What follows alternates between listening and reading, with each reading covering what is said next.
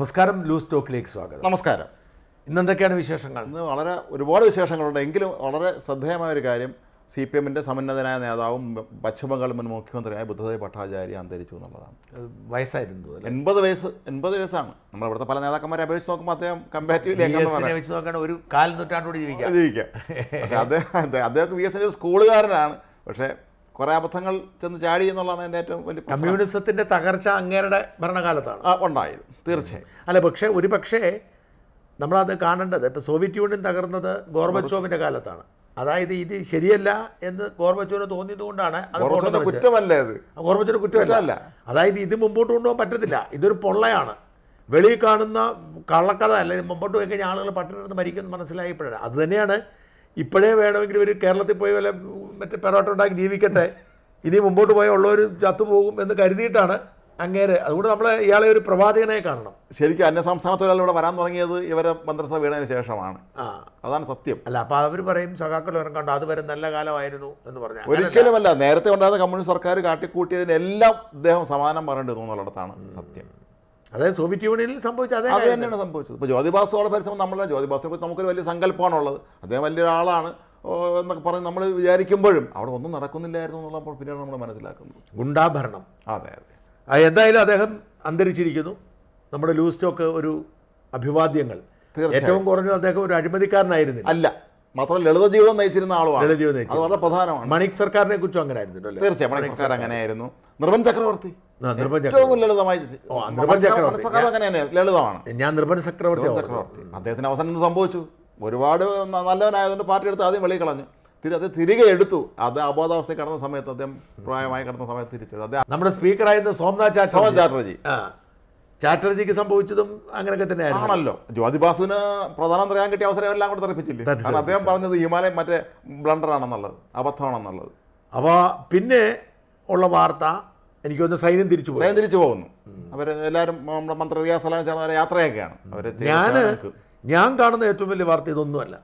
ഞാൻ കാണുന്ന ഏറ്റവും വലിയ വാർത്ത നമ്മുടെ അഖിൽ മാരാരുടെ തകർപ്പം പ്രകടനമാണ്. സത്യം പറഞ്ഞാൽ അഖിൽ മാരാറെ കുറിച്ച് ഒരു എപ്പിസോഡ് നമ്മൾ ചെയ്യേണ്ടതാണ്.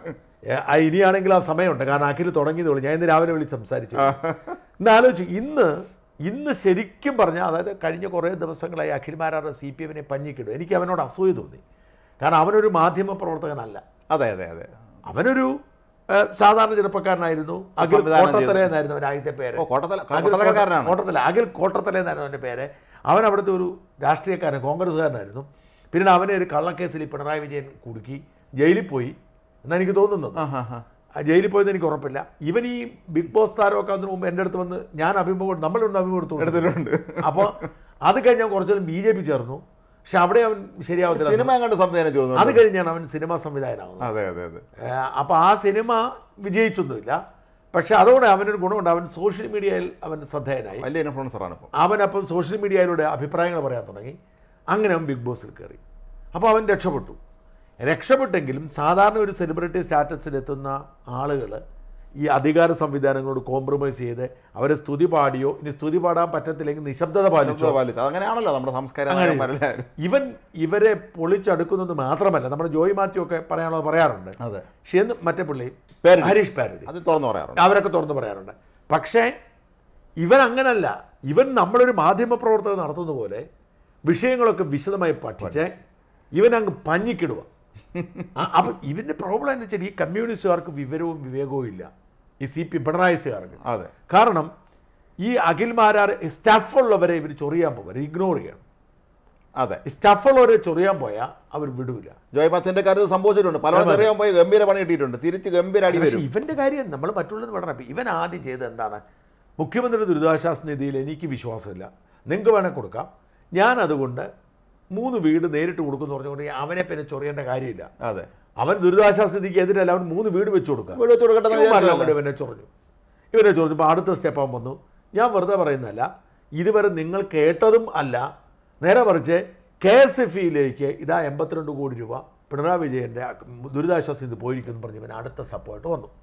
എന്നാലെങ്കിലും വിടണ്ടേ പിണറായി വിജയൻ തന്നെ മറുപടിയായിട്ട് വന്ന് പരിഹസിച്ചുകൊണ്ട് പിണറായി പറഞ്ഞു കെ എസ് എഫ് കൊടുത്തത് എന്തോ വിദ്യാകിരൺ വിദ്യാ ലാപ്ടോപ്പ് വാങ്ങാൻ. ഈ അവിടെ ഒരു ചോദ്യമുണ്ട്. ലാപ്ടോപ്പ് വാങ്ങാനായിട്ട് എന്തിനാണ് കെ എസ് ഇ ബി കൊടുക്കുന്നത്? ആവശ്യമില്ലല്ലോ. സർക്കാരിന്റെ പട്ടികജാതിക്കാർക്കാണെങ്കിൽ പട്ടികജാതി വകുപ്പ്.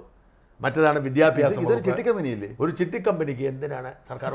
അത് തന്നെ തട്ടും. അപ്പോഴാണ് ഇവൻ അടുത്തതായിട്ട് കൊണ്ടുവന്നു വന്നു. ഈ പറയുന്ന കെ എസ് എഫ് ഇക്ക് കൊടുത്തിരുന്ന അത് കെ എസ് എഫ് സർക്കാർ കൊടുത്തു പറയുമ്പോഴും കെ എസ് എഫ് ഇ ആളുകൾ തിരിച്ചടച്ചിരുന്നു. അതായത് ഇവർ ലാപ്ടോപ്പ് മേടിച്ചതിന്റെ കാശ് തിരിച്ചടച്ചു. അപ്പോൾ പിന്നെ ആ പൈസ അവിടെ പോയി? ഇതുമായിട്ട് രംഗത്ത് വന്നു ഉടനെ തന്നെ അവന്മാർ പുതിയൊരു സംവിധാനമായിട്ട് വന്നു. വിദ്യ വിദ്യ കിരൺ എന്ന് പറഞ്ഞൊരു പദ്ധതിയാണ്. വിദ്യാശ്രീ അല്ല. വിദ്യ കിരൺ എന്ന് പറഞ്ഞാൽ സൗജന്യമായി കൊടുക്കുന്നതാണ്. വിദ്യാശ്രീ ആയിരുന്നു ലോണ്. അതോടെ സഖാക്കളെ ദൈവം തോറ്റു. അപ്പോൾ വേറെ അബദ്ധം പറ്റി. വിദ്യാശ്രീയുടെ ചുമതലക്കാരനെ കൈറ്റോ അവരെങ്ങാണ്ട് രണ്ട് കോടി തൊണ്ണൂറ്റൊമ്പത് ലക്ഷം രൂപ ഞങ്ങൾക്ക് തന്നിട്ടുള്ളൂ. ഞങ്ങൾ അതിനുള്ള രണ്ടായിരം ഇതും കൊടുത്തു പറഞ്ഞു. പെർഫെക്റ്റ്. അപ്പം ബാക്കി എൺപത്തിരണ്ട് കോടി പോയി. ഈ രണ്ടു കോടിയെ സൗജന്യമായിട്ട് കൊടുത്തിട്ടുള്ളൂ. ബാക്കി അമ്പത്തിരണ്ട് കോടിയോട് പോയി ആ അമ്പത്തിരണ്ട് കോടി മുക്കി. അപ്പോൾ ഇവൻ എന്ത് ചെയ്തു? ഇന്നവൻ ഈ ഈ ലാപ്ടോപ്പ് മേടിച്ചതിന്റെ സാമ്പത്തിക ഇടപാടും അതിന്റെ വിശദാംശങ്ങളും വിൽക്കാ കിടന്നിരുന്ന സാധനം വിറ്റതും വാങ്ങിയ സാധനം കെട്ടുപോയതും ഒക്കെ ആയിട്ട് ദൈവമേ ഈ വലിയ അഴിമതിയുടെ മുഴുവൻ കഥയും ഇന്ന് വിളിച്ചങ്ങ് അലക്കി കേസെടുത്തുകൊണ്ടാണ് ഇനിയിപ്പോൾ രണ്ടു മൂന്ന് കേസ് അലക്ഷനിൽ വരുമായിരിക്കും ഇത് കൂടാതെ. എടുക്കത്തില്ല. അവർ വേണ്ടുപോയി. ഞാൻ അറിഞ്ഞതനുസരിച്ച് പി രാജീവ് പലരും വിളിച്ച് ചീത്ത വിളിച്ചെന്ന് പറഞ്ഞത് നിങ്ങൾക്ക് വേറെ പണിയൊന്നുമില്ല. അവന്റെ പുറകെ നടന്ന് പിന്നെ എന്നോട് ഒരു എന്നോട് സി പി എമ്മിലെ ഒരു സോഴ്സ് എന്നോട് പറഞ്ഞു രാജീവേട്ടൻ വിളിച്ച് ചീത്ത വിളിച്ചിട്ടുണ്ട്. എന്ത് ചെയ്യാനാ? കാരണം എന്ന് വെച്ചാൽ ഇവനെ ചൊറിയുന്നതനുസരിച്ച് ഇവൻ കൂടി ഇപ്പോൾ മുഖ്യമന്ത്രി ദുരിതാശ്വാസ നിധിയിൽ ആകെപ്പാട് ഇതുവരെ പറഞ്ഞുകൊണ്ടിരുന്നത് നമ്മൾ ആ ഉഴവൂർ വിജയനും രാമേന്ദ്രൻ കോടിയേരി. ഇപ്പൊ അതിന്റെ കൊടുത്ത് കെ എസ് എഫ് അതും മറ്റേതൊക്കെ ഇരുപത്തഞ്ച് ലക്ഷമായിരുന്നു. കോടി, എൺപത് കോടി. ഈടായി അപ്പൊ അതായത് കെ എസ് എഫ് ഇക്ക് കൊടുത്തു എന്ന് പറഞ്ഞാൽ കെ എസ് എഫ് വഴി എന്തെങ്കിലും അഴിമതി ആയിരിക്കും അതെ. അപ്പം ഇതുകൊണ്ടാണ് ഇവർ ഈ കണക്ക് പുറത്തു വരാത്തതും ഈ വിശദാംശങ്ങൾ പുറത്ത് കാരണം ഇത് പുറത്തു വരാൻ പറ്റത്തില്ല. അതെ. പുറത്തു വിട്ട മുഴുവൻ തിരിമറിയാണ്. മൊത്തം അഴിമതിയാണ്. അത് കൊടുത്തവർക്കാർക്കും തന്നെ വിവരാവകാശം ലഭിച്ചിട്ടില്ലല്ലോ. ഇല്ല കിട്ടത്തില്ല. ഇല്ല. വിവരാ എം കെ ഹരിദാസ് എന്ന് പറയുന്ന അറിയപ്പെടുന്ന ഒരു വിവരാവകാശ പ്രവർത്തകൻ. അദ്ദേഹം മെനക്കെട്ട് പുറകെ നടന്നിട്ട് നടന്നിട്ടില്ല. ഞാൻ ഇത് അടിമുടി അഴിമതി എന്നിട്ട് കേസ് എടുത്തിരിക്കുവാണ് അവന് അവൻ പക്ഷേ മറ്റേ ഇത് റദ്ദ് ചെയ്യാൻ വേണ്ടിയിട്ട് ഹൈക്കോടതി സമീപിച്ചു മുൻകൂർ ജാമ്യത്തിന്. പക്ഷേ അതിനകത്തൊരു പെശകുണ്ട്. ഈ മുൻകൂർ ജാമ്യം ജാമ്യമുള്ള വകുപ്പിൽ കേസെടുക്കുമ്പോൾ മുൻകൂർ ജാമ്യത്തിന് പോകരുത് കോടതി തള്ളും. ഞാൻ അവനെ വിളിച്ച് പറഞ്ഞു അഖിലേ നീ എന്തിനാ പോയത്? അപ്പോൾ അഖിൽ പറഞ്ഞ വക്കീൽ പറഞ്ഞു കൊടുത്തു എന്ന് പറഞ്ഞു. സത്യം പറഞ്ഞാൽ അത് തെറ്റായിപ്പോയി. അതിന്റെ ആവശ്യമില്ലായിരുന്നു. കാരണം ജാമ്യം ഉണ്ടല്ലോ. അതെ. ഇനി അഖിലിനെ ജാമ്യമില്ലാത്ത വകുപ്പിൽ കേസെടുത്ത് അറസ്റ്റ് ചെയ്തു എന്ന് വെച്ചോളൂ മുഖ്യമന്ത്രി വിമർശിച്ചിട്ടില്ല. അപ്പോൾ പിന്നെ അവൻ രണ്ടു ദിവസം പോയി കഴിഞ്ഞാൽ നമ്മുടെ പി സി ജോർജ് ഹീറോ ആയതുപോലെ ഹീറോ ആകത്തില്ലായിരുന്നു മുഖ്യമന്ത്രി മെമ്പറി പീഡിപ്പിച്ചതൊന്നുമല്ലല്ലോ. അതെ. അത് ജനാധിപത്യമല്ലേ എന്നെ ചെയ്യാൻ അതെ എനിവേ നമ്മുടെ വിഷയത്തിലേക്ക് കിടക്കണം. നമ്മുടെ വിഷയം അതല്ല. അതെ അതെ. തീർച്ചയായും. എന്നാലും ഉള്ള കാര്യങ്ങൾ പറയണമല്ലോ ആദ്യം. പറയൂ. നമുക്കത് നമുക്ക് വിനേഷ് ഫോഗട്ട് ഫോഗട്ടിന്റെ കാര്യം തന്നെ നമുക്ക് അതിലേക്ക് നമ്മൾ പോകേണ്ടി വരും. ഇന്നും രാജ്യം ചർച്ച ചെയ്യുന്ന ആ വിഷയം തന്നെയാണ്. രാജ്യം മൊത്തത്തിൽ എല്ലാം അവരൊപ്പം തന്നെ നിൽക്കുന്നത് എന്നുള്ളത് സത്യമാണ്. പക്ഷേ സൈന നെഹ്വാൾ ബാഡ്മിന്റൺ താരം അവർ രംഗത്തെത്തിയിട്ടുണ്ട്. അവർ പറയുന്നുണ്ട് ഇത് നേരത്തെ പല ഒളിമ്പിക്സിൽ പങ്കെടുത്തിട്ടുള്ള ആളാണ് ഈ വിനേഷ്. അപ്പോൾ എന്തുകൊണ്ട് അവർ അക്കാര്യം കൂടുതൽ ശ്രദ്ധിച്ചില്ല എന്ന് പറയുന്നുണ്ട്? ഈ യഥാർത്ഥത്തിൽ സംഭവിച്ചത് എന്താണെന്ന് വിശദീകരിക്കും. പ്രേക്ഷകർ ഒന്ന് കേൾക്കട്ടെ. ഇപ്പോൾ ആളുകൾക്ക് ഈ എന്താണ് സംഭവിച്ചത് എന്ന് ഈ അൻപത് ഓരോ വെയിറ്റ് അനുസരിച്ചാണല്ലോ ഗുസ്തി മത്സരങ്ങൾ നടക്കുന്നത്. അപ്പം നിലവിലുള്ളതിൽ നിന്നും നൂറ് ഗ്രാം കൂടുതൽ മാത്രം. നൂറ് ഗ്രാമാണ്. പക്ഷേ അത് ഒളിമ്പിക്സിനെ സംബന്ധിച്ച് നൂറ് ഗ്രാം നൂറ് ഗ്രാം തന്നെയാണ്. അതുകൊണ്ട് അവരെ അയോഗ്യയാക്കി എന്നാണ് പറയപ്പെടുന്നത്. പക്ഷേ തലേദിവസം തന്നെ ഇവർക്കത് മനസ്സിലായിരുന്നുവെന്നും ഇവർ തലേദിവസം തന്നെ അത് മാറ്റാനുള്ള സകല ശ്രമവും നടത്തിയിരുന്നു എന്നാണ് പറയുന്നത്. പക്ഷേ എന്നിട്ടും നൂറ് ഗ്രാം അവിടെ അവശേഷിച്ചു. ഈ വിഷയത്തിൽ ഞാനൊരു സ്പോർട്സ് റിപ്പോർട്ടറായിരുന്നു. അറിയാമോ? അതെ, എനിക്കറിയത്തില്ല. അതെ, അതെ. ഞാൻ ഒളിമ്പിക്സ് രണ്ട് ഒളിമ്പിക്സ് റിപ്പോർട്ട് ചെയ്തിട്ടുണ്ട്. രണ്ട് ഇല്ല ഒരു ഏഷ്യൻ ഗെയിംസ് റിപ്പോർട്ട് ചെയ്തിട്ടുണ്ട്. ആഫ്രോ ഏഷ്യൻ ഗെയിംസ് റിപ്പോർട്ട് ചെയ്തിട്ടുണ്ട്. Commonwealth game. ഞാൻ ഒരുപാട് അന്താരാഷ്ട്ര മത്സരങ്ങൾ ഒരുപാട് ദേശീയ മത്സരങ്ങൾ റിപ്പോർട്ട് ചെയ്തിട്ടുണ്ട്. ഇവിടെ ഈ കായിക ലോകം എന്ന് പറയുന്നത് നമ്മൾ കരുതുന്ന ഒരു ലോകമല്ല. അന്താരാഷ്ട്ര കായികം നമുക്കിവിടെ കായിക രംഗത്ത് സ്വാധീനം ഒരു പ്രധാന ഘടകമാണ്. തീർച്ചയായും. രാഷ്ട്രീയക്കാരെ നിയന്ത്രിക്കുന്നത്. രമേശ് ചെന്നിത്തല ഏതോ അസോസിയേഷന്റെ പ്രസിഡന്റാണ് ഏതോ ഒരു കായിക അസോസി- ഏതൊരു കായിക സംഘടന പ്രസിഡന്റ്. കെ മുരളീധരൻ ആണ്. വി ശിവൻകുട്ടിയാണ്. നമ്മുടെ സുനിൽ ഉണ്ട്. ഇന്ത്യൻ കേരള ഒളിമ്പിക് അസോസിയേഷന്റെ അത് പ്രസിഡന്റ്. തന്നെ ആലോചിക്കൂ.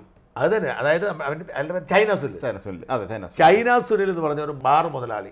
ബാർ മുതലാളിയാണ് കേരള ഒളിമ്പിക് അസോസിയേഷന്റെ പ്രസിഡന്റ് എന്ന് ആലോചിച്ച് നോക്കി കേരള ഒളിമ്പിക് അസോസിയേഷന്റെ പ്രസിഡന്റ് ആയിരിക്കുന്ന ചൈന സുനിൽ മുതലാളി അയാൾ ജീവിതത്തിൽ വഴി നടന്ന് നടന്നിട്ടുണ്ടായിരിക്കും ആയ കാലത്ത് എനിക്കറിയത്തില്ല. ഇപ്പോൾ എന്തായാലും നടക്കുന്നു എനിക്ക് നമ്മുടെ ക്രിക്കറ്റ് നിരീക്ഷകന ഡോക്ടർ അജിത് കുമാർ പണ്ടൊരിക്കൽ ഇവിടുത്തെ വലിയ പ്രമുഖനെ കുറിച്ച് പറഞ്ഞിട്ടുണ്ട്. ഈ ഒളിമ്പിക് ക്രിക്കറ്റ് അസോസിയേഷൻ ഒരു ഭാരവാഹിയെ കുറിച്ച് അയാൾ ഭയങ്കര മിടുക്കനാണെന്ന് പുള്ളി പറഞ്ഞു. എല്ലാ ലോകത്ത് എല്ലാ കാര്യത്തിലും നല്ല ധാരണയുള്ള ആളാണ്. മിടുക്കനാണ്. പുള്ളിക്ക് അറിയാൻ പാടില്ലാത്ത ഒരു വിഷയമുള്ളൂ. അത് ക്രിക്കറ്റാണ്. അല്ല അല്ല അത് തന്നെ ആ രാജ്മോഹൻ ഈ രമേശ് ചെന്നിത്തല ശിവൻകുട്ടി ഇവരൊക്കെ ഓരോരോ ഇപ്പോഴാണെന്ന് എനിക്കറിയത്തില്ല. ഞാൻ സ്പോർട്സ് ചെയ്യുന്ന സമയത്ത് ഇവരാരെങ്കിലും ഒക്കെയാണ് ഇവിടുത്തെ പല അസോസിയേഷന്റെയും സ്പോർട്സ് സംഘടനയുടെ ഭാരവാഹികൾ. സ്പോർട്സ് സംഘടനയുടെ ഭാരവാഹികളും പോയി ഒരു അബ്ദുൾ റഹ്മാൻ എന്ന് പറഞ്ഞ ഒരാളാണ് ദീർഘകാലമായിട്ട് ഒളിമ്പിക് അസോസിയേഷന്റെ പ്രസിഡന്റ് ഈ ഇവിടെ ദീർഘകാലമായിട്ട് അയാൾക്ക് സ്പോർട്സ് കൗൺസിലിന്റെ ഓഫീസുണ്ട് മേത്തർ ഉണ്ടായിരുന്നുണ്ട് കൊച്ചി കോൺഗ്രസ് നേതാവ് കെ സി എം മേത്തർ അല്ല അയാളും അതെ. അപ്പം ഈ പറയുന്ന അബ്ദുൾ റഹ്മാൻ ഇവിടെ ഓഫീസ് ഉണ്ടായിരുന്നു. നിരന്തരം അവിടെ അയാൾക്കൊരു Kerala sports council Indian Olympic association Kerala Olympic association president ഓഫീസുണ്ട്. എന്താണ് അതിൽ സ്പോർട്സ് ആർക്കും അറിയത്തില്ല. അത് തന്നെയാണ് ചൈന സുനിൽ കസേര പേര് വരുന്നത് അല്ല സ്പോർട്സ് കൗൺസിൽ അധ്യക്ഷനാവുന്ന പ്രസിഡന്റ് രാഷ്ട്രീയക്കാരാണ് നമ്മുടെ നാട്ടിൽ നടക്കുന്നത് ഇപ്പം സുരേഷ് കൽമാടി ആയിരുന്നില്ല ഇന്ത്യൻ ഒളിമ്പിക് അസോസിയേഷൻ ദീർഘകാല പ്രസിഡന്റ്. അതിനൊക്കെ മാറ്റം വന്നു. ഞാൻ മോദി സർക്കാരിനെ പലരും കുറ്റം പറയുമ്പോഴും ഇത്തരം കാര്യങ്ങളിൽ കൃത്യമായ മാറ്റം ഉണ്ടാക്കാൻ അവർ കഴിഞ്ഞിട്ടുണ്ട്. ഈ Padma Shri award. P T Usha Olympics ഞാൻ പറഞ്ഞത് ഉഷയെ പോലെ ഒരാൾ ഇന്ത്യൻ ഒളിമ്പിക് അസോസിയേഷൻ പ്രസിഡന്റ് ആക്കാൻ ഈ പറയുന്ന മോദിയോ അല്ലെങ്കിൽ ബി ജെ പി അധികാരത്തിൽ വരാൻ നടക്കുമായിരുന്നില്ല. സുരേഷ് കൽമാടി ഇരുന്ന പദവി ബി ജെ പി നേതാക്കൾ ഇപ്പോഴും ക്രിക്കറ്റ് അസോസിയേഷനൊക്കെ അമിത്ഷായുടെ പോകാൻ അപ്പോൾ മകനാണ് അതെ. അപ്പം ശരത് പവാർ ദീർഘകാലമായിരുന്നു. അതാണ്. അപ്പം ഈ ഈ പറയുന്ന സ്പോർട്സ് മേഖലയിൽ നമ്മുടെ നാട്ടിന്റെ ഒരു പാരമ്പര്യം ഇങ്ങനെയാണ്. അതും രാഷ്ട്രീയക്കാരൻ കൈയാണ് രാഷ്ട്രീയക്കാരാണ്. എന്നിട്ട് എന്ത് ചെയ്യും? ഇവർ സെലക്ഷനിൽ ഇടപെടും. ഇപ്പം നമ്മുടെ ക്രിക്കറ്റിൽ പോലും ഉണ്ടല്ലോ. ഉണ്ടല്ലോ ഇഷ്ടം നമ്മുടെ സഞ്ജു സാംസനെ കൊണ്ടുപോയെങ്കിൽ കൊണ്ടുപോയി കൊണ്ടുപോയല്ലോ ശ്രീശാന്തിനെ എത്രയോ അവസരങ്ങൾ നശിച്ചിരിക്കുന്നു ടിനു യോഹന്നാൻ. ടിനിയോനാൻ എനിക്കൊന്നും ഒന്നിനും കളിച്ചിട്ടില്ല കളിച്ചിട്ടില്ല. അപ്പം ഇവരെ സെലക്ഷൻ പ്രോസസ്സിൽ ഇടപെടും.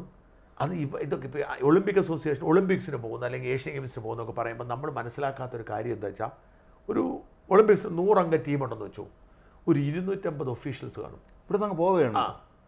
അത് ഒളിമ്പിക് അസോസിയേഷൻ പ്രസിഡന്റ് ബോധം നമുക്ക് മനസ്സിലാക്കാം സെക്രട്ടറി ബോധം മനസ്സിലാക്കാം മന്ത്രി ബോധം മനസ്സിലാക്കാം. പക്ഷേ നമ്മുടെ കേരളത്തിലെ ഒളിമ്പിക് അസോസിയേഷൻ പ്രസിഡന്റ് വരെ പോവും.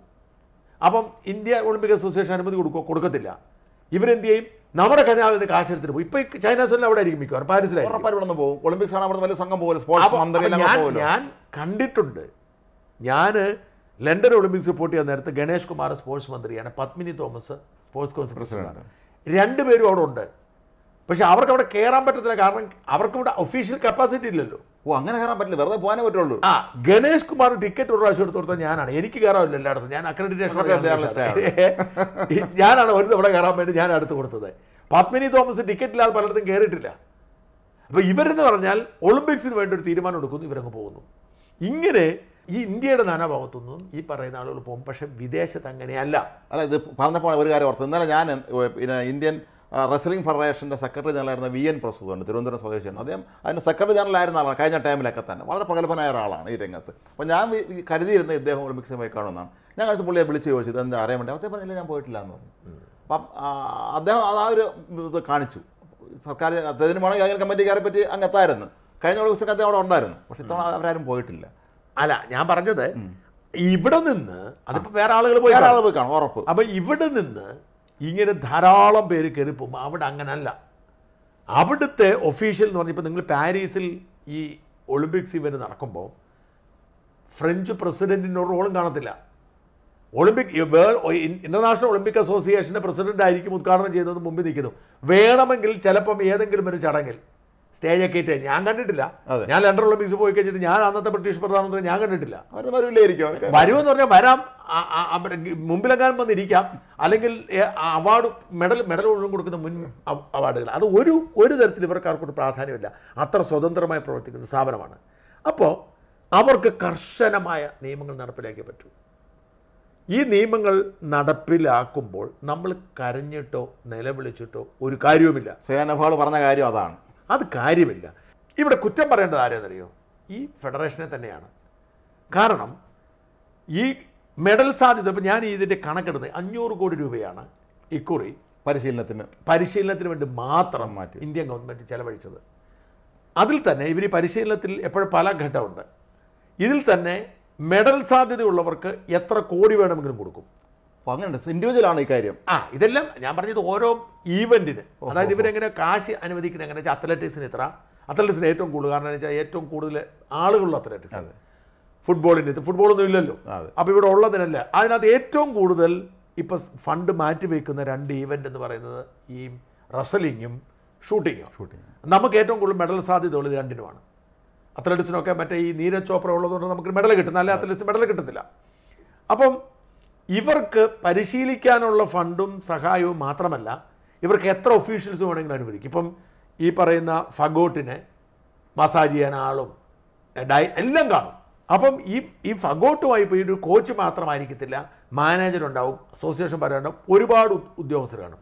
അപ്പോൾ ഇവരുടെ എല്ലാം ഉത്തരവാദിത്തമാണ് ഇവരുടെ തൂക്കം കൃത്യമായി നിലനിർത്തുന്നത് ഇതത് വളരെ യാദൃച്ഛികമായി നമ്മൾ പോയി ഒരു ചായ കുടിച്ചോ അല്ലെങ്കിൽ ഒരു ബോണ്ട കഴിച്ചോ കൂടുകയോ കുറയ്ക്കുകയോ സാധനം അല്ലിത്. അതെ അതെ അതെ. അതായത് ഇവിടെ നമ്മൾ ശ്രദ്ധിക്കേണ്ട കാര്യം ഈ കഴിഞ്ഞ ഒളിമ്പിക്സിൽ ഈ കൊച്ചു പങ്കെടുത്തിരുന്നു. അതെ അതെ. അതാ അതാണ് അവർ പറയുന്നത്. കഴിഞ്ഞ അമ്പത്തി മൂന്നായിരുന്നു അതെ. അപ്പോൾ ഈ അമ്പത്തി മൂന്നിൽ നിന്നും അമ്പതിലേക്ക് താഴ്ന്നത് ഒരു റിസ്ക് എടുത്തുള്ള ഒരു തീരുമാനമാണ്. അതായത് സത്യത്തിൽ അവളുടെ ഫിസിക്കൽ കപ്പാസിറ്റി അമ്പത്തി മൂന്ന് കിലോ വിഭാഗത്തിൽ പങ്കെടുക്കുക എന്നുള്ളതാണ് പക്ഷേ ഇവർ കൂടുതൽ സാധ്യത. എപ്പോഴും നമ്മൾ ശ്രദ്ധിക്കേണ്ടത്. ഞാനിത് വിശദമായി പഠിച്ചപ്പോൾ എനിക്ക് മനസ്സിലായത്. നമുക്ക് ഈ ഗുസ്തിയിലെ ഏറ്റവും പ്രധാനപ്പെട്ട ഘടകം തൂക്കമാണ്. അപ്പം എനിക്ക് അറുപത് കിലോ തൂക്കമുണ്ടെങ്കിൽ നിങ്ങൾക്ക് അമ്പത്തഞ്ച് കിലോ തൂക്കമുള്ളെങ്കിൽ എന്നേക്കാൾ എത്ര മിടുക്കനാണ് നിങ്ങളെങ്കിലും ഞാൻ ജയിക്കത്തുള്ളൂ.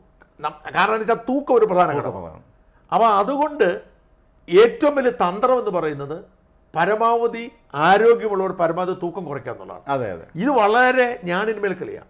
അല്ലാതെ നമ്മുടെ ഈ സ്വാഭാവികമായി നമ്മൾ പ്രാക്ടീസ് ചെയ്ത് മറ്റേത് ഈവന്റ് ആണെങ്കിലും ഇപ്പം നമ്മൾ അത്ലറ്റിക്സ് ആയിക്കോട്ടെ ഫുട്ബോൾ ആയിക്കോട്ടെ ക്രിക്കറ്റ് ആയിക്കോട്ടെ നമ്മൾ അതിന്റെ ഒരു ഡയറ്റ് നോക്കി നമ്മൾ പോകുന്നു. നമുക്ക് നമ്മുടെ ഒരു തൂക്കമുണ്ട്. ഇതെന്ന് പറഞ്ഞാൽ തൂക്കത്തെ സ്പെസിഫിക് ആയിട്ട് കുറയ്ക്കാൻ ശ്രമിക്കുന്നു. ശ്രദ്ധിക്കണം. ഇതിന് കരുത്ത് കിട്ടണമെങ്കിൽ തൂക്കം വേണം. അത് അതാണ് എന്റെ കാര്യം. രണ്ടും കൂടെ പരസ്പര അവിടെയാണ്. അതായത് ഇതൊരു വല്ലാത്ത ഞാനും അതെ ഇപ്പം ഹൈ ജമ്പ് ചെയ്യുന്ന ഒരാൾക്ക് അത്ലറ്റിക്സ് ഹൈ ജമ്പ് ചെയ്യുന്ന ഒരാൾക്ക് പൊക്കം കൂടുതലും തുക്കം കുറവുണ്ടെങ്കിൽ നല്ലതാണ്. കാരണം ഇത് പൊങ്ങി പറന്നു പോകും. പറക്കാം. ട്രിപ്പ് മറ്റേ പോവേട്ട് ചെയ്യുന്ന ഒരാൾക്ക് പൊക്കം കുറവും തൂക്കം കുറവുണ്ടെങ്കിൽ നല്ലതാണ്. ഇത് കുത്തിപ്പോയി ആളാണ് ചെയ്യുന്നത്. അപ്പം അതുപോലെ തന്നെ ഓട്ടക്കാർക്ക് പൊക്കം കുറവുള്ളതാണ് നല്ലത്. കൂടുതലാണെങ്കിലും ചിലർക്ക് പ്രത്യേകിച്ച് ഈ നൂറ് മീറ്റർ ഒക്കെ ഓടുന്നവർക്ക് പൊക്കമുള്ളവർക്ക് നൂറ് മീറ്റർ വലിയ പാടാണ്. പക്ഷേ അതിന് വ്യത്യാസം അങ്ങോട്ടേക്ക് ഉണ്ടാവും. അപ്പം ഇവിടെ ഈ ഒരു ബാലൻസിങ് അതായത് ആരോഗ്യം എത്രയുണ്ടോ അത്രയും നമുക്ക് പെർഫോമൻസ് കൂടും. പക്ഷേ. തൂക്കം കൂടിയ കാറ്റഗറി മാറും. കാറ്റഗറി മാറും. അപ്പൊ ഈ ഒരു ബാലൻസിങ്ങിലാണ് ഇവർ ഈ അമ്പത് കിലോഗ്രാമിൽ താഴെ നിർത്തി ആ കാറ്റഗറിയുടെ ആനുകൂല്യം കൈപ്പറ്റാൻ വേണ്ടി അവർ ശ്രമിക്കുന്നത്. അവർക്ക് അമ്പത്തിമൂന്നിൽ മത്സരിക്കാമായിരുന്നു. അങ്ങനെ വളരെ കൃത്യമായ ഡയറ്റിങ്ങിലൂടെയാണ് ഇത് നേടിയെടുത്തോണ്ടിരുന്നത്. പക്ഷേ ഒരു കാര്യം ശ്രദ്ധിക്കണം. തലേ ദിവസമായിരുന്നു. അതിന്റെ മറ്റ് മത്സരങ്ങൾ മറ്റ് നടന്നു. മത്സരങ്ങൾ. സെലക്ഷൻ മത്സരങ്ങൾ. സെലക്ഷൻ മത്സരങ്ങൾ. ആ സെലക്ഷൻ മത്സരങ്ങൾ കണ്ടിന്യൂസ് ആണല്ലേ ഇത്? ഒരു ദിവസം തന്നെ എല്ലാം നടത്തുമല്ലോ അതാണ്. അതായത് പ്രാഥമിക റൗണ്ട് നടത്തി പ്രീ ക്വാർട്ടർ നടത്തി ക്വാർട്ടർ നടത്തി സെമി ഫൈനൽ നടത്തി ഫൈനലിലേക്ക് ശരിക്കും ക്ഷീണിക്കും. അപ്പൊ അക്ഷരാർത്ഥം ക്ഷീണിച്ചു. അവിടെ അവിടെയാണ് നമ്മളിതിന്റെ ഇതിന്റെ ഒരു ഒരു ക്യാച്ച് കിടക്കുന്നത്. ഇവർ ഈ ദിവസം മുഴുവൻ മത്സരിച്ച് ആരോഗ്യം ക്ഷയിച്ചു. അപ്പോൾ അവർ ഭക്ഷണം കഴിച്ചു കാണും അല്ലെങ്കിൽ അവരെന്തെങ്കിലും സപ്ലിമെന്റ് കഴിച്ചു കഴിച്ചാണ് ഉറപ്പാണ്. കാരണം അവരെ സംബന്ധിച്ച് അവർക്ക് ജീവൻ ഉണ്ടായില്ലേ മത്സരിക്കാൻ പറ്റില്ല ആരോഗ്യം വേണ്ട? അവരുടെ പ്രശ്നം അവർ അമ്പത് വയസ്സ് കിലോഗ്രാമിൽ താഴെ നിൽക്കുകയും ചെയ്യണം. യഥാസമയം അവർക്ക് ആരോഗ്യം കഴിക്കണം. അപ്പോൾ എന്താ ചെയ്തതെന്ന് വെച്ചാൽ സത്യം പറഞ്ഞത് ഇത് ഇതൊക്കെ നിയന്ത്രണം ഏർപ്പെടണം. ഈ പെങ്കൊച്ചിന് ജലപാനം പോലും നിഷേധിച്ചു. അവസാനം ഹോസ്പിറ്റലായതും അതിന്റെ പേരിലാണ്. അതെ ജലപാനം പോലും നിഷേധിച്ചു. വെള്ളം കൊടുത്തില്ല. കാരണം വെള്ളത്തെ തൂക്കം കൂടും. ഇവളുടെ ബ്ലഡ് കുത്തിക്കളഞ്ഞു. മുടി മുറിച്ചു. മുടി മുറിച്ച് കളഞ്ഞു. അമ്പത് ഗ്രാം ലാഭിക്കാൻ വേണ്ടി. അങ്ങനെ എല്ലാം ശ്രമിച്ചിട്ടും നൂറ് ഗ്രാം. ഇതൊരു വല്ലാത്ത അവസ്ഥയാണ്. അപ്പൊ കരയെ വേണം മുഖം നന്നായിരിക്കണം എന്ന് പറയും പോലത്തെ അവസ്ഥയാണ്.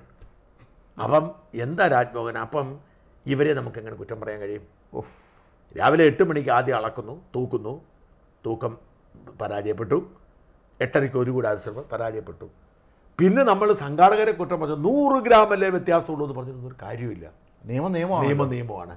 ഇതാദ്യമല്ല ഇന്നലെ തന്നെ മറ്റൊരു സംഭവമുണ്ട് വേറെ കായിക താരങ്ങൾ ഇതുപോലെ ഒരു ഇറ്റാലിയൻ താരം അതായത് നോർത്ത് കൊറിയൻ താരം സൗത്ത് കൊറിയൻ താരം അവസാന നിമിഷം പിന്മാറിയപ്പോൾ ഇറ്റാലിയൻ താരത്തിന് അവസരം കിട്ടി. പക്ഷെ മത്സരിക്കാൻ തൂക്കത്ത് വ്യത്യാസം വന്നു. ഡിസ്ക്വാളിഫൈ ചെയ്തു. ഇത് എപ്പോഴും നടക്കുന്നതാ. ഇപ്പം മാത്രം നടക്കുന്നതല്ല. പക്ഷെ നമ്മൾ രാജ്യം അവരെ ചേർത്ത് പിടിച്ചതിൽ സന്തോഷമുണ്ട്. തീർച്ചയായും. നമ്മളെ നമ്മൾ നേരിട്ട് അവരെ ഹോസ്പിറ്റലിൽ ചെന്ന് കണ്ടു അവരെ ആശ്വസിപ്പിക്കുകയൊക്കെ ചെയ്യുന്ന പക്ഷേ ഇവിടെ കുറ്റം പറയേണ്ട ഒരു വിഭാഗമുണ്ട്. നമ്മുടെ ഖജനാവിനെ പണം എടുത്തുകൊണ്ട് ഈ സ്പോർട്സ് നന്നാക്കുന്നതിന് വേണ്ടി ഈ പിന്നാലെ കൂടിയിരിക്കുന്ന ഓരോ ഒഫീഷ്യൽസ് ഉണ്ട്. അവർ ഈ ഈ പറയുന്ന മെഡിക്കൽ ഡോക്ടർ കാണും ഡോക്ടർ സംഘം കാണും കോച്ച് കാണും മാനേജർ കാണും അവരൊക്കെ ഈ കാശും കൈപ്പറ്റി അവിടെ പോയി പാരീസ് കാണാൻ നടന്നു കാണും. ഉറപ്പാണ് ഈ ഇവരുടെ കൂടെ നിന്ന് ഇവളുടെ ഓരോ സാധന വ്യത്യാസം ഇവർക്ക് ഉണ്ടാകാൻ ചെയ്യുന്ന ഉത്തരവാദിത്വം അവർ ചെയ്തു അത്ര ഒരു മെഡൽ സാധ്യതയുള്ള ഒരാളാണല്ലോ. അത്ര ശ്രദ്ധിക്കേണ്ടായിരുന്നു അവർ കയറിയുണ്ട് അത് നോക്കിയില്ല. എന്നിട്ട് എനിക്ക് ഏറ്റവും ചിരി വന്ന അതൊന്നുമല്ല രാജ്മോഹൻ. ഈ നമ്മുടെ സുഡാപ്പികൾ എന്നൊക്കെ വിളിക്കുന്ന ടീംസ് ഉണ്ടല്ലോ. ആ അത് കൊള്ളാം. അവന്മാരുടെ കേട്ടായിരുന്നു. കണ്ട കണ്ട കണ്ട്. ഗംഭീര കമന്റാണ് ഇത് മോദി കണ്ട് ഇടപെട്ട്. മോദി പണി കൊടുത്തതാണ്. മോദി പണി കൊടുത്തതാണ് ഞാൻ ഇവർ പറയുന്നത്.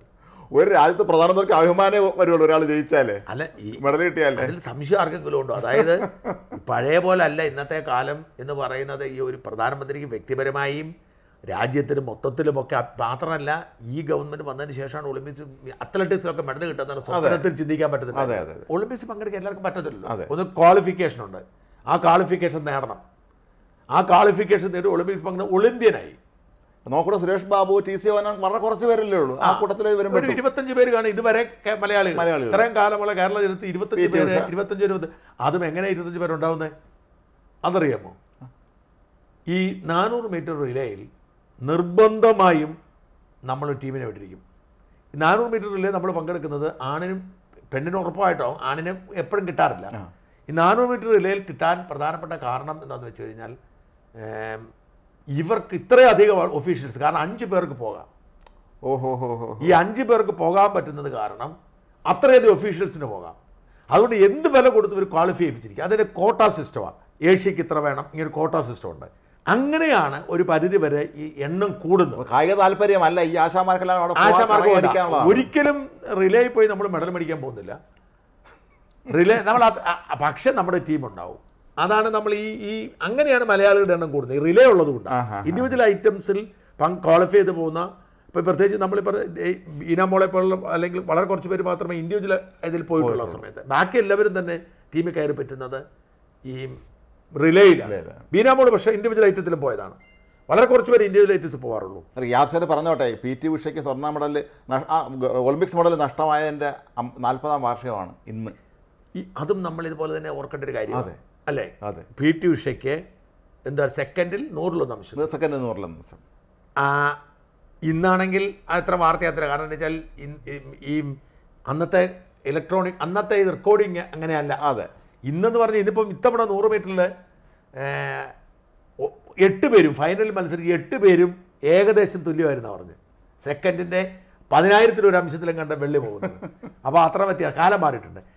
ആ അത് അതും ഇതുപോലെ തന്നെ നമ്മൾ ആഘോഷിച്ചു ഞാൻ എപ്പോഴും ശ്രദ്ധിച്ചിട്ടുള്ള കാര്യം എന്ന് വെച്ചാൽ ഞാൻ വളരെ കൗതുകത്തോടെ ചെറുപ്പം പോലെ ശ്രദ്ധിച്ചിട്ടുള്ള കാര്യമുണ്ട്.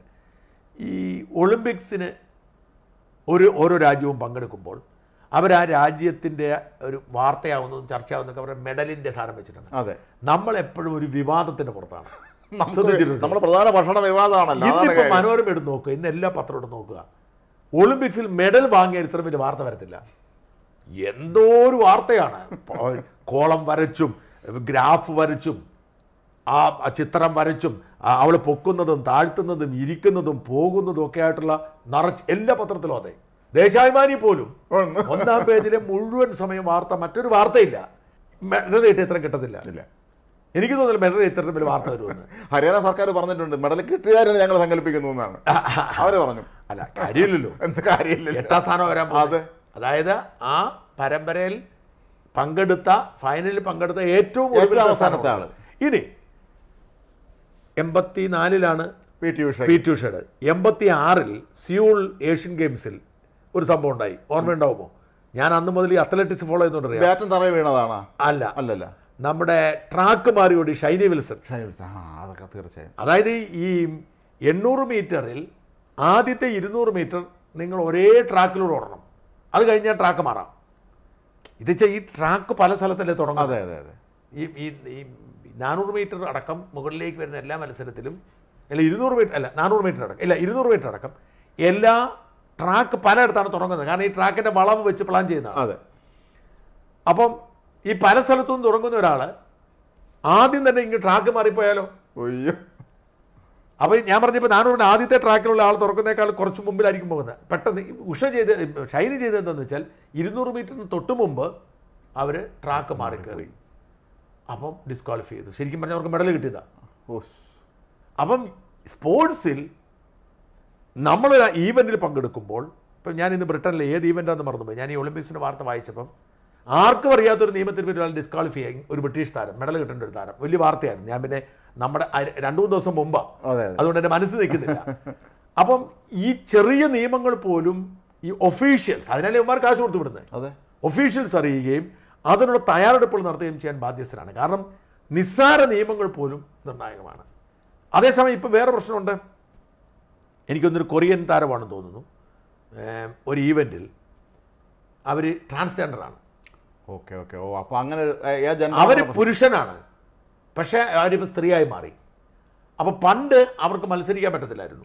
കാലം ഒരുപാട് മാറിയല്ലോ. കാലം ഒരുപാട് മാറിയപ്പോൾ ഈ ജെൻഡർ ന്യൂട്രാലിറ്റി പൊളിറ്റിക്കൽ കറക്റ്റ്നെസ് ആയതോടെ അവർക്ക് വേണ്ടി മാത്രം ഒരു മത്സരം നടത്താൻ പറ്റുമോ ഇപ്പം ഞാൻ പറഞ്ഞ ഈ പാര ഒളിമ്പിക്സ് വന്നത് എങ്ങനെയാണ്? ഒളിമ്പിക്സ് ഇത്ര ആഘോഷമായി കഴിഞ്ഞപ്പോഴത്തേക്കും ഭിന്നശേഷിക്കാർക്ക് പ്രത്യേകം പ്രത്യേക ഒളിമ്പിക്സ് വന്നത് അതങ്ങനെ അതിന്റെ ഒരു ഭാഗമായി പോയി. പക്ഷേ ജെൻഡർ ആണിനും പെണ്ണിനും മത്സരമുണ്ട്. അപ്പം എൽ ജി ബി ടിക്കാർക്ക് എങ്ങനെ മത്സരം നടത്തും? അല്ലെങ്കിൽ ഈ ട്രാൻസ്ജെൻഡർ എങ്ങനെ മത്സരം നടത്തും? ഇതൊരു പ്രശ്നമായി. ഈ തർക്കം മൂത്ത് കഴിഞ്ഞപ്പം ഇപ്പോൾ പല അസോസിയേഷനുകളും അല്ലെ പല ഫെഡറേഷനുകളും ട്രാൻസ്ജെൻഡേഴ്സിനെ സ്ത്രീയായി കണക്കാക്കി സ്ത്രീ ആയെങ്കിൽ സ്ത്രീ പുരുഷനായെങ്കിൽ പുരുഷൻ. പുരുഷനാകുന്നവർക്ക് മത്സരിച്ചിട്ട് കാര്യമില്ല. അതെ. പക്ഷെ പുരുഷൻ സ്ത്രീയായി മത്സരിച്ചാൽ മെഡൽ കിട്ടും. ഇവിടെ ഇത്തവണ സംഭവിച്ചു. ഈ എനിക്കൊന്ന് റെസ്ലിംഗ് തന്നെയാന്ന് തോന്നുന്നു. റസ്ലിംഗിന് വേറെ സംഭവങ്ങൾ ഉണ്ടായിട്ടുണ്ട്. ഒരു ഇന്ത്യൻ റസ്ലിംഗ് താരത്തിനെ തിരിച്ചു കയറ്റി വിട്ടിട്ടുണ്ട് അവരിങ്ങോട്ട് ബന്ധു ബന്ധുവിനെ കയറ്റി വിട്ടത്. അപ്പോൾ ഈ നിയമം അവർക്ക് അറിയില്ലേ? സ്വന്തം അക്രഡേഷൻ കാർഡ് കൊടുത്ത് വെച്ചിട്ട് പോയി സാധനം എടുത്തുകൊണ്ടിരാൻ പറഞ്ഞു ഒളിമ്പിക് വില്ലേജിൽ നിന്ന് ആ സെക്കൻഡ് അവർ പിടിച്ചു എന്നാണ് പറയുന്നത്. സെക്കൻഡ് പിടിച്ച് ഡീപ്പോർട്ട് ചെയ്യണം. അതാണ് ഇതിന്റെ ഏറ്റവും രസകരമായ കാര്യം. വണ്ടിക്കറ്റ് വിടുക എന്നുള്ളതാണ്. സ്പോർട്സ് നിയമങ്ങൾ അത്രയും കർശനമാണ്. അപ്പോൾ ഞാൻ പറഞ്ഞത് മറ്റേ ഈ ട്രാൻസ്ജെൻഡറിന് മത്സരിക്കാവുന്ന സാഹചര്യം ഉള്ളപ്പോൾ അതായത് സ്ത്രീകൾക്കെതിരെ പുരുഷനായിരുന്ന ഒരാൾ സ്ത്രീ ആയതുകൊണ്ട് മാത്രം മത്സരിച്ച് മെഡൽ മേടിക്കുന്ന നിയമം ഉള്ളപ്പോൾ ഈ നൂറ് ഗ്രാം വ്യത്യാസത്തിൽ ഒരാൾ മെഡൽ ഉറപ്പായും കിട്ടിയ മെഡൽ കളഞ്ഞ് ശരിയാണോ എന്നുള്ള ചോദ്യം പ്രസക്തമാണ്. അതെ. അതൊക്കെ ഇന്റർനാഷണൽ ഒളിമ്പിക് അസോസിയേഷൻ കൈകാര്യം ചെയ്യുന്ന വിഷയങ്ങളാണ്. പക്ഷേ അവരുടെ മുമ്പിലുള്ള പ്രശ്നം ഇത് എങ്ങനെ കൈകാര്യം ചെയ്യും? അവരും മനുഷ്യരല്ലേ? അവർക്കും അവസരം കൊടുക്കണ്ടേ? അവർക്ക് മാത്രമായിട്ട് വേറെ മത്സരം നടത്താൻ പറ്റുമോ? സ്പെഷ്യൽ ഒളിമ്പിക്സ് ഇല്ലല്ലോ അവർക്ക്. സ്പെഷ്യൽ ഒളിമ്പിക്സ് ഇല്ലല്ലോ. അപ്പോൾ അത്തരം വിഷയങ്ങൾ മുമ്പിൽ അവശേഷിക്കുമ്പോൾ അത് ചർച്ച ചെയ്യേണ്ടതാണെങ്കിൽ പോലും ഇത് ഒരു ഒരു ഒരു മോശം തന്നെയാണ് ആ അർത്ഥത്തിൽ. തീർച്ചയായും. എന്തായാലും സ്പോർട്സിനെ ഒരു സ്പോർട്സിന്റെ രീതിയിൽ മനസ്സിലാക്കാത്തതിന്റെ കുഴപ്പം പലപ്പോഴും ഉണ്ട്. എന്തായാലും ഞാൻ ഒരു കാര്യത്തിൽ എനിക്ക് മോദി സർക്കാർ വന്നതിന് ശേഷം ഈ സ്പോർട്സിന് ഒരുപാട് പ്രാധാന്യം വരികയും മെറിറ്റിന് ഇതുണ്ടാവുകയും ചെയ്യും പി ടി ഉഷ ആ കസേരയിൽ വന്നത് തന്നെ ഏറ്റവും വലിയ നമ്മൾ ലോകം അറിയപ്പെടും നമ്മളെ ഏറ്റവും വലിയ അഭിമാനമല്ലേ പി ടി ഉഷ? ഇപ്പം അല്ലെങ്കിൽ നമ്മുടെ ഇവൻ എന്തോ എന്ത് സുനില? ചൈന സുനിൽ ചൈന സുനിലായനെ ചൈന സുനിൽ ഇന്ത്യ മുന്നണി വന്നിരുന്നെങ്കിൽ. ഇന്ത്യ മുന്നണി വന്നിരുന്ന ചൈന അപ്പൊ പി ടി ഉഷയുടെ പോലുള്ള ആളെ ഇരിക്കുമ്പോഴും ഇതൊക്കെ നല്ല കാര്യമാണ്. ഇത് മനോഹരമായിട്ട് നടക്കുന്നു. പക്ഷേ എന്നിരുന്നാൽ പോലും ഇവിടുത്തെ ഒരു പ്രശ്നം ഇതാണുള്ളത്. ഈ സ്പോർട്സിലെ മൈന്യൂട്ട് നിയമങ്ങൾ പോലും എല്ലാവർക്കും ബാധകമാണ്. അതെ പണ്ടൊരിക്കൽ ഒരു ഏഷ്യയുടെ കവർ ചെയ്യാൻ പോയി ഞങ്ങളുടെ സഹപ്രവർത്തനം മുമ്പ് ചാനൽ ജോലി ചെയ്യുമ്പോൾ പറയുമായിരുന്നു. പി ടി ഉഷ നടന്നു വരെയാണ് അപ്പോൾ വേറെ ഏത് സംസ്ഥ- ഏത് സംസ്ഥാനത്ത് ഞാൻ മറന്നു ആ സംസ്ഥാനത്തെ ഡി ജി പി എന്ന് ഇവരെ സല്യൂട്ട് ചെയ്യാണ്. അത് പി ടി ഉഷയാണ്. പി ടി ഉഷയാണ്. അതിന്റെ ഭയങ്കര വിസ്മയമാണ് പി ടി ഉഷ കണ്ടപ്പോഴേ. അന്ന് സല്യൂട്ട് ചെയ്യണമെന്ന് പറഞ്ഞ അദ്ദേഹം ഉഷ പാവോ. അപ്പൊ ഉഷ പേടിച്ചു പോയി. ഇന്നത്തെ ഉഷയല്ല അന്നത്തെ ഉഷ. ഇന്നത്തെ ഉഷ ഉഷ പേടിച്ചു പോയി അതെ അതെ. ഡി ജി പി സല്യൂട്ട് ചെയ്ത് അദ്ദേഹം വളരെ ആദരവോടെ ഇങ്ങനെ തൊഴിൽ നീക്കുകയാണ് പി ടി ഉഷ കണ്ടതിന്റെ ഒരു അത്ഭുതം. ഈ ഇവിടെ ഈ തോമസ് ആനക്കല്ലെങ്കിൽ എന്ന് പറഞ്ഞൊരു വക്കീലുണ്ട്. നമ്മുടെ കേസ് നടത്തുന്ന വക്കീലന്മാരിൽ ഒരാളാണ്. നമ്മുടെ എന്റെ സുഹൃത്താണ് അദ്ദേഹം ഹൈക്കോടതിയിലെ വക്കീലാണ് തോമസ് ആനക്കലിന് കഴിഞ്ഞ ദിവസം വന്നപ്പോൾ ഞങ്ങൾ ഞാൻ ലഞ്ച് കഴിക്കാൻ പോയി. തോമസ് ആനക്കൽ പറഞ്ഞതെന്ന് വെച്ചാൽ ഈ വേറെ സ്ഥലത്ത് ഉത്തർപ്രദേശിലോ ഉത്തർപ്രദേശിൽ ഉത്തർപ്രദേശിലെ ഒരു കേസിന് വേണ്ടി പോയെന്ന് പറഞ്ഞു. ഉത്തർപ്രദേശ് കേസിന് പോയി കഴിഞ്ഞപ്പോൾ ഇവിടുന്ന് ഉന്നതമായ ഒരാൾ വഴി സ്വാധീനിച്ച് അവിടെ പോയി വിളിച്ച് അവിടുത്തെ ഡി ജി പിയെ വിളിച്ച് അറിയിച്ചിട്ടാണ് പോകുന്നത്. പോകുന്നത്. അപ്പം ഇദ്ദേഹം ഡി ജി പിയുടെ ഓഫീസിലോട്ട് കയറി ചെല്ലുമ്പോൾ ഡി ജി പി ചാടി എഴുന്നേറ്റിട്ട് എഴുന്നേറ്റിട്ട് ഇങ്ങനെ കൈ നന്നു പറഞ്ഞു. അപ്പൊ തോമസ് നേരെ തിരിഞ്ഞു നോക്കി. വേറെ? ഡി ജി പിയെ കളഞ്ഞു തോമസ് പറഞ്ഞു ഞാനിക്ക് തിരിഞ്ഞു നോക്കി. വേറെ ആരും പുറകെ. പുള്ളിയെ തന്നെ ഈ തിരിഞ്ഞായിരിക്കും ഉഷയുടെ അവസ്ഥയെ. ഇപ്പൊ പിന്നെ എം പി ആണെന്ന് പറയാം. വേണമെങ്കിൽ തല കൂട്ടിയാൽ പക്ഷെ അന്ന് പക്ഷെ അത്ര അയാളിങ്ങനെ അന്ത് ചെയ്യിക്കുകയാണെന്ന് സംസ്ഥാന ഡി ജി പി ആണെന്ന് പറഞ്ഞു. പി ടി ഉഷ ഇന്ത്യ എന്ന് കത്തെഴുതിയ കിട്ടുന്ന കാലമില്ലായിരുന്നു. അതെ അതെ. എന്തായാലും വളരെ സങ്കടകരമാണ് ആ മെഡൽ നഷ്ടം. പക്ഷേ അതിൽ സങ്കടപ്പെട്ടിട്ട് കാര്യമില്ല. ഇതാണ് സ്പോർട്സ് അതിന് കുറ്റപ്പെടുത്തിയിട്ട് കാര്യമില്ല. ഇനിയെങ്കിലും ഒളിമ്പിക് നിയമങ്ങൾ വളരെ വ്യക്തമായ ധാരണയോടെ മനസ്സിലാക്കിയിട്ടുണ്ട് വേണം ചെറിയ. മാറ്റം. ഈ വസ്ത്രധാരണത്തിലൊക്കെ എങ്ങനെ അത് ഈ ഇവർ ഭയങ്കര അധികാരമാണ് എങ്ങനെ ധരിക്കണം? ഈ വസ്ത്രം ധരിച്ചതിൽ തെറ്റാണ് അവരെ ഡിസ്ക്വാളിഫൈ ചെയ്ത് വിടും. ഈ ഈ പറയുന്ന റെസ്ലിങ്ങിൽ ഈ രാവിലത്തെ പരിശോധന ഉണ്ടല്ലോ. ഭാരപരിശോധന മാത്രമല്ല വസ്ത്രം ധരിക്കേണ്ട രീതിയുണ്ട്. അതിന് സൈസ് ഇതിലൊക്കെ മാറ്റണം അപ്പം ഡിസ്ക്വാളിഫൈഡാണ് അപ്പോൾ ഇങ്ങനെയുള്ള നിയമങ്ങൾ പാലിക്കാനുള്ള ഉത്തരവാദിത്വം ഒഫീഷ്യൽസ് എടുക്കണം. ഒഫീഷ്യൽസിന്റെ ഭാഗത്ത് വീഴ്ചയുണ്ട് പൊളിറ്റിക്കലല്ല ഈ കാശുമായി പോകുന്ന ഒഫീഷ്യൽസ് അവർ പാരീസ് കാണാൻ പോയ സമയത്ത് ഈ കാര്യത്തിൽ അത്ലറ്റിന്റെ കാര്യം ശ്രദ്ധിക്കണം. ആ സംഭവമാണ് ശ്രദ്ധിക്കേണ്ടത്. എന്തായാലും പ്രിയപ്പെട്ട വിനേഷ് നിന്റെ ഈ ദുഃഖം ഞങ്ങളുടെയും ദുഃഖമാണ്. രാജ്യത്തിന്റെ ദുഃഖമാണ്. രാജ്യത്തിന്റെ ദുഃഖമാണ്. ഞങ്ങൾ നിന്നോടൊപ്പമാണ് നീ നിരാശപ്പെട്ട് നിർത്തിപ്പോവരുത്. കാരണം മുപ്പത് വയസ്സെന്ന് പറയുന്നത് ഒരു ഗുസ്തിക്കൊരു ഒരു ഗുസ്തിക്ക് ഒരു പ്രായമേ അല്ല നാൽപ്പത് നാൽപ്പത്തഞ്ച് വയസ്സുള്ളവർ ചെയ്യാറുണ്ട്. അതുകൊണ്ട് ദയവായി രാജ്യത്തിന് ഇനിയും അഭിമാന നേട്ടങ്ങൾ കൊണ്ടുവരേണ്ടതാണ്. ഏഷ്യൻ ഗെയിംസിലും കോമൺവെൽത്ത് ഗെയിംസിലും ഒക്കെ സ്വർണം മേടിച്ചിട്ടുള്ള ആളാണ്. പിന്നെ? കേവലം മുപ്പതാമത്തെ വയസ്സിൽ ഞങ്ങളെ ഇങ്ങനെ പറ്റിക്കരുത്. നിന്നോടൊപ്പമാണ് ഞങ്ങൾ നീ മുമ്പോട്ട് പോവുക ധൈര്യമായി. ഇതൊക്കെ ഒരു ജീവിതത്തിൽ അനുഭവമായി കരുതുക. നിന്റെ സങ്കടം ഞങ്ങൾക്ക് മനസ്സിലാക്കാം. എങ്കിൽ പോലും കരുതലോടെ ശ്രദ്ധയോടെ മുമ്പോട്ട് പോകാൻ നിരാശപ്പെട്ട് പിന്മാറരുത്. നന്ദി. നമസ്കാരം.